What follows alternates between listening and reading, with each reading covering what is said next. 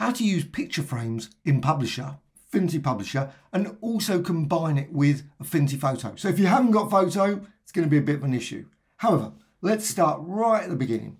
So let's just remove that. And now what you need to do to add a picture frame, just go over here. You can see all the various tools there and there's picture frame. Now I could use this one.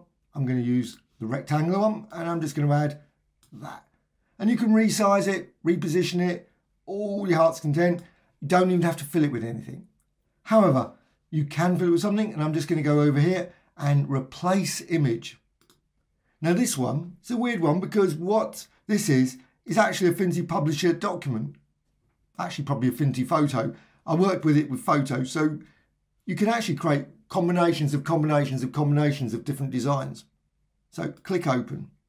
And you can see the design there. That's some text that's been distorted, warped, etc. And obviously an image there. Now what you can do, you can zoom in. You just go down here, you've got a little zoom feature here, and you can zoom in. You've also got the option here, just move around backwards and forwards. You can reposition it. And also, if you want, you can rotate it. And there's the rotation just there. You can just see rotation there. Now you've got also the picture frame itself. You can rotate that, of course. So you can do both. You can rotate this. You can also rotate the picture frame as well as resize it as well if you want to do that as well. So there's a variety of different things you can do with this. Now, a key panel with all these, always layers. So here's layers. And you can see if you go over here, you can break this down. You can see now they are untitled.af pub, which is unusual. I thought it was a photo, but however, you can obviously bring in a variety of different things, not just JPEGs, PNGs, etc., but also obviously clearly these sort of things. It's a linked document there, it says. So you've got that design. Well, what you can do if you want to add some effects to it, and you can see that you can add effects to various images as well as text, etc. Just go over here, File and Edit in Photo. So Edit in Photo. Now I've got Photo open already and you can see the result. There's the design and it looks much the same. And also you've got layers. So you go over here, layers, and you can see here you've got picture frame. Of course, there's no picture frames in photo, but you can see you can still manipulate the picture frame. You can just resize it, move it around. Now, you can also select that. Now, the range of tools obviously is limited. You can't zoom in here. Appears to be no option for that. But you can manipulate it in all kinds of ways. But also what you can do is select that. Just select that. Make sure you. That's the key thing. You can also select the picture frame as well, but I'm selecting this one, the image. Go to layer and then new layer filter layer. So now I'm just going to go say distort. Now there's not a vast range of options here. There's a few. So twirl and you can add a twirl effect to it. Now let's just bring that up there and you can see as you do that, a twirl effect is added. Now you might not want twirl obviously there's other ones as well. Displace is a pretty good one, but you can see you can now distort that image. And you also got blend modes, you can run through there if you want to see, you can create blends between them.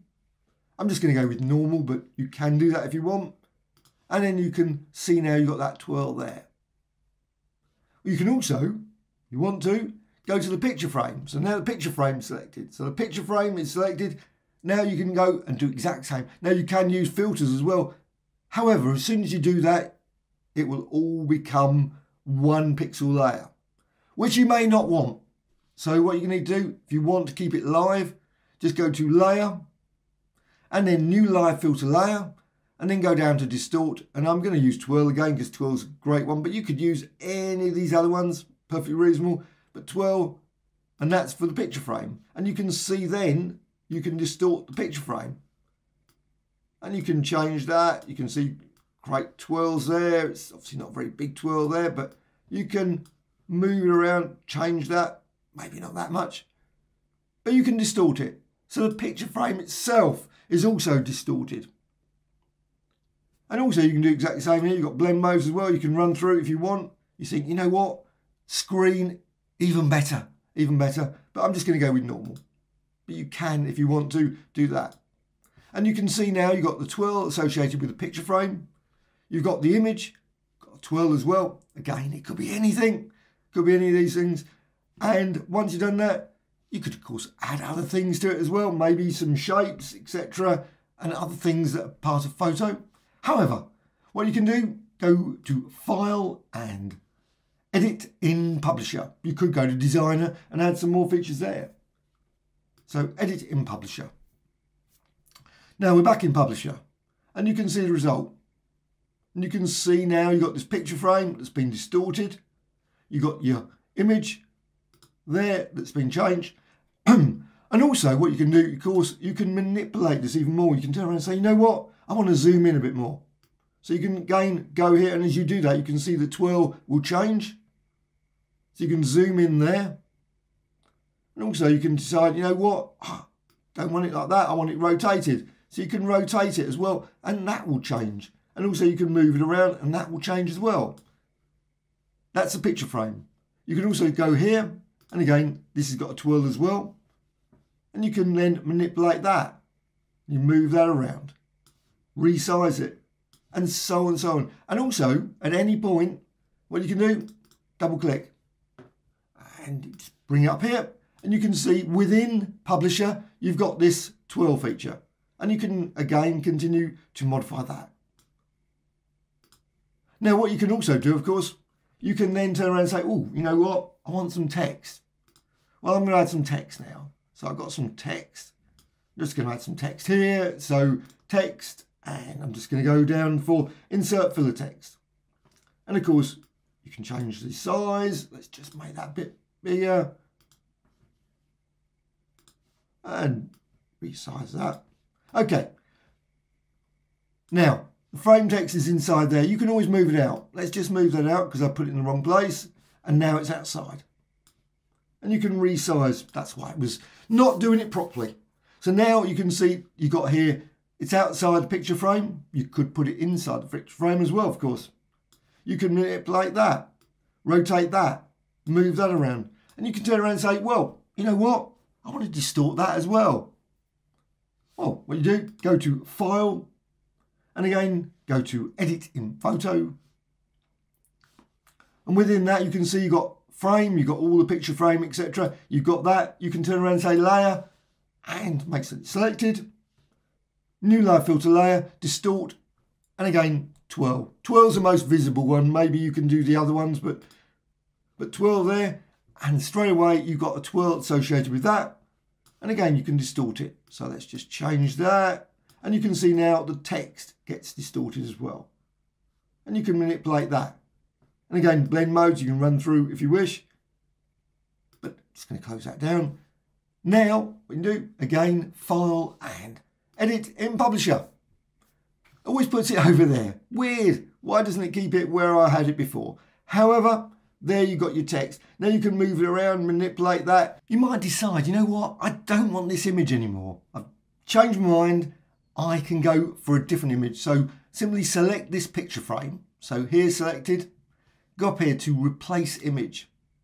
Now you can set this file, any of the files. Now this one, this rainbow design, is also got a twirl within that. It's going to be a linked document, so you could change that as well. It's all linked to linked with makes it very confusing. But however, click open and you can see design that's but that's been twirled by this twirl, the associated twirl there.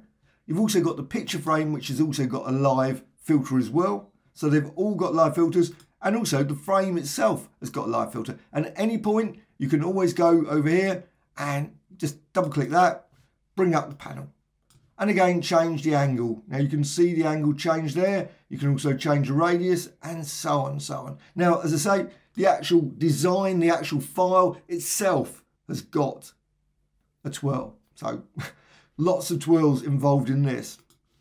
And then the picture frame itself, you can again double click that. So that will come up and you can then modify that. So again, this is the picture frame you're modifying now. And you can tweak that and you can see as you do that, of course, just changes over there as well. And again, you can still continue to modify maybe color burn instead of what was before. And you've still got this as well and so on. And you can still zoom in. You can take, and you do that, you can see that changes. You can also still rotate it and it will change then as it rotates as well. And of course, what you can do, maybe have images with text in, text and text, bond text, make it very unusual designs that all can, can be combined. Because this design itself, if you want to, you can go back to Publisher into Photo, edit in Photo, maybe save it as a file and just use this as a source for an image and so on and so on. Hope you found this tutorial of interest. Thank you much.